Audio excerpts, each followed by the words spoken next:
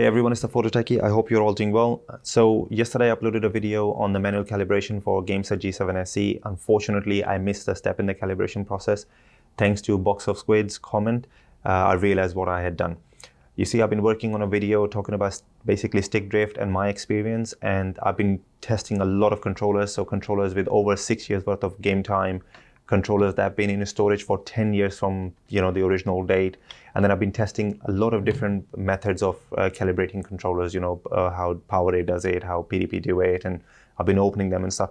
So when i shot this video yesterday i showed the process of the PowerA calibration and GameSir's is a bit different. The moment i read his comment i knew exactly what i had done. Uh, so i'm reshooting the video now uh, the funny thing is, I have done this calibration, like trying to change the, the feel of the stick so many times before. So that's why I, the moment I read his comment, I was like, oh my days, how can I do this? But please accept my apology. Uh, and uh, so in this video, I'll show you, you know, the manual calibration and the testing. So just to let you know, I'm doing it on the Xbox Series X, but you can do this uh, on the PC, is the same process. First thing you want to do is we want to test our controller, you know, how it's performing. So Gamepad Tester is a really good site that you can do that. You can do that on the Series X. Just go to the Edge browser, to the website. And um, uh, what we want to do is, so here's the browser is open. If you press the menu button, we go to the game controls. Now my gamepad is there. We want to test if we can reach the maximum values uh, of the stick. So this one, I've purposely basically just to show you what a wrong calibration would look like. I can't reach the maximum values on the corners uh, and even the diagonals are out. So that it's not reaching that. Uh, to test the, you can, you know, and the left stick is actually reaching all the, uh, the values correctly. Uh, you can do this by testing the circularity error and uh, just make sure that you are in the circular profile on the controller. Because like I've mentioned, you know, you can do raw mode and stuff. But for this one, just keep it in the circular profile and uh, do the circularity test and you will see what I mean is going on here. And we see the stick is not calibrated properly, the right one. So the way we do the manual calibration is in the unplugged state of the controller, we need to press and hold the uh, view, Xbox and menu buttons in, and then plug the cable in. So when we do that, keep holding uh, the buttons in the LED light will start flashing. Now you can let them go. Press A. The LED will switch off and your mic mute button LED will stay on. This is the calibration mode. In this basically uh, mode, we need to press the triggers in three times slowly. And after that, you need to press the, you need to rotate the sticks three times. I do them individually. Uh, you can do them together if you want. So I just do them clockwise. And um, if you have any KontrolFreeks or any thumb grips or whatever is on, just make sure you take those off. Now, if you press A, if the LED comes on, that means the process was okay. If the LED don't come back on, do the same thing again. You have to rotate the sticks three times, press the um, triggers in. Disconnect and reconnect the controller and the calibration basically should be done. I really don't like this USB port, honestly. Okay. So the controller should come up. Yeah, he's gone to a different um, tab. All right, so here it is. And if I go into the game controls, you will see now the sticks will do the proper circularity test. And if I go into raw mode, we'll be able to see all the four uh, basically corners uh, having the software raw mode in there as well.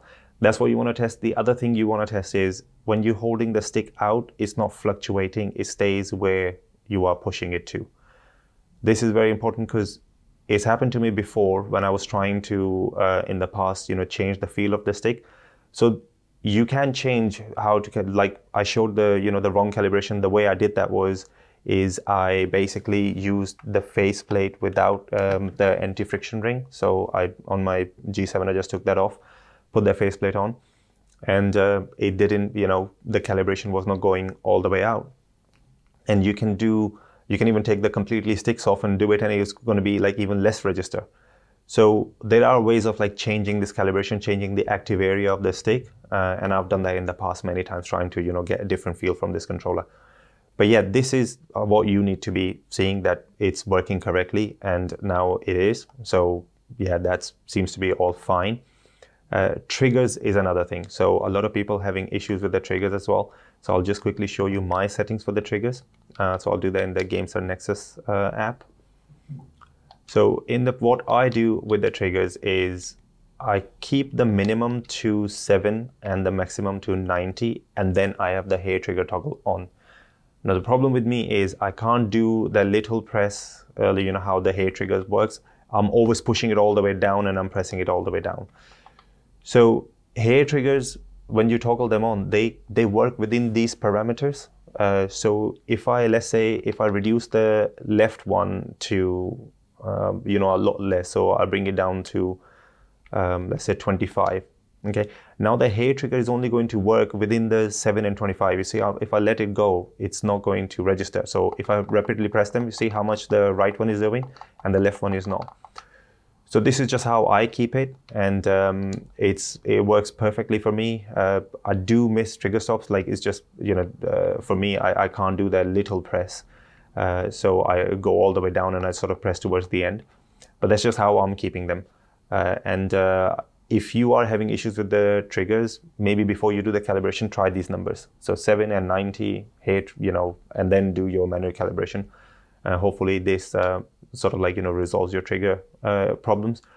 One thing I would recommend is all your profiles. So this is what I do. I make sure that all the settings are the same. Unfortunately, it's just something that I felt like, okay, I didn't want to, it just to me was feeling like, okay, is it going through like different settings at times or whatever? So I've just made sure all my triggers are the same. Just for the testing purposes of this video, I changed the, uh, the second profile to circular mode, but I keep all my profiles, the sticks to raw mode, zero and 100 with the new update because in the new update we are reaching the 100% value a little bit before so there is some day so it's basically in line with the normal g7 now before i remember i was trying to make the circle smaller that's why i was you know doing the so many different sort of calibrations uh, but now yeah it sort of reaches the 100% just like the g7 and we have a little bit of dead space after it reaches the 100% so we don't need to uh, you know do all those different methods and stuff so if you keep all the profiles the same, that's what works best for me. Yeah, and uh, the, the, same thing with the triggers. I'm just keeping them in all of the profiles, the same settings. I'm just going to show you now quickly some Call of Duty settings that I use. Uh, so hopefully they can help you out as well. Okay, so in Call of Duty, what I do is um, my sensitivities are uh, 16, 16 and 1.6 for ADS. Uh, and um, for testing, you know, how what sort of sensitivity you need, I keep the aim assist off. Uh, and uh, I use the linear response curve for whatever reason. For me, the dynamic don't work, but I think that's because of my screen setup and the input like I have with my screen. And uh, you might find that dynamic works best for you. But for me, you know, with my setup, I think linear works best. But like I said, it's personal preference. Uh, my dead zones are uh, 0.02 uh, minimum for the left, 0.03 for the right, and I keep the left stick at uh, 0.80 right with the new update because you know like i mentioned it's reaching 100 before so i keep that maximum in the past i did mention that you can reduce that but i'm not doing that now uh, so uh, the way i test it so i'm using currently because i'm testing a controller so i'm using precision rings at the moment uh, so uh, that's why my sensitivity is higher because i'm working on the ESWAP S uh, but without the precision rings my sensitivity are lower like 14 14 and 1.5 ads but the way I test the settings is basically just make sure that you feel connected to your aim. So with aim assist off, jumping and make sure that your reticle, you can bring the reticle to the uh, the targets. If it's not coming, if it's off, you can reduce, you know, if it's overshooting too much, you can reduce it. If you're not getting there, then you can, you know, um, increase the sensitivity. But that's the basically idea that you can, you know, bring your aim to them without the aim assist, uh, and you can sort of follow them um, every time, you know, when you're jumping, you're rotating your stick, you can do a full rotation um, and you can stop uh, the stick, uh, you know, uh, to the targets. That's just my way of testing um, uh, the aiming. Uh, with the triggers, um, like I said, uh, you know, the settings that I keep, so I can easily, you know, keep the, the, the triggers pressing repeatedly towards the end of the stick, and that's just sort of like you know my way of doing it with my settings. But in Call of Duty, uh, the only thing I change for the triggers is, is usually 0.13. I just made it to 0.10, 0.10. Uh, so yeah, those are just like my methods of testing it and stuff. Uh, you know, depending on the game and your setup, you might feel something differently. But yeah, definitely try it out um, with your so so I don't keep. You see, I have a little bit of a drift. I prefer that. Uh, so I know that there are no dead zones the moment I'm doing something. It's uh, basically it's taking effect. Uh, and uh, so that's why I disable the minimum dead zones like zero in GameSir Nexus uh, and in Call of Duty. I keep it where I have a little bit. It's just uh, it feels much more. You see, stops. So it only happens uh, sometimes. So that's just like my preference.